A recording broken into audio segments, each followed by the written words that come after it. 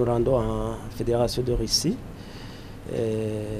avec comme destination finale la ville de Sochi, vers le sud, où la délégation burundaise que j'ai l'honneur et le privilège d'y conduire va participer cette semaine au tout premier sommet Russie-Afrique. nous étions peut-être déjà habitués à des partenariats pareils. Chine-Afrique, ça nous dit quelque chose. Inde-Afrique, ça nous dit quelque chose. Japon-Afrique, également, ça nous dit quelque chose.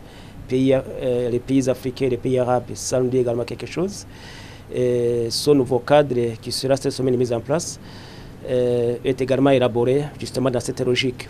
On pourrait, dès le départ, se poser la question de savoir comment ce nouveau mécanisme de partenariat va fonctionner, euh, quels sont les avantages communs ou globaux ou avantages euh, spécifiques ou comparés que le Burundi va tirer de ce nouveau cadre de partenariat?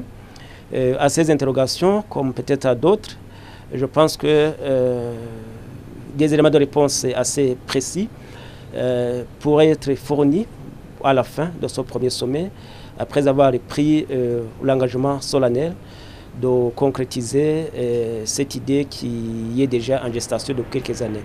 Ce qui est évident, c'est que euh, on observe une limitation des changements au, au, niveau des relations entre les pays dans le monde.